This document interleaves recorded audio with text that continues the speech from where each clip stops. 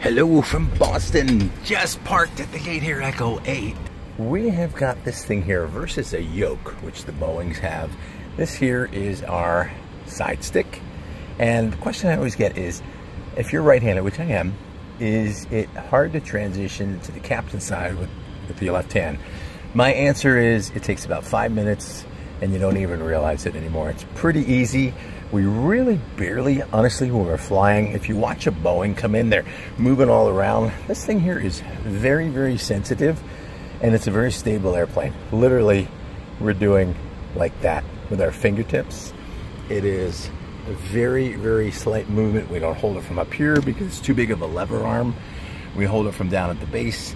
And literally, if you see, we can't do videos when we're flying as US pilots. FAA won't allow us. But if you watch some of the foreign carriers, you'll see them just moving it very slightly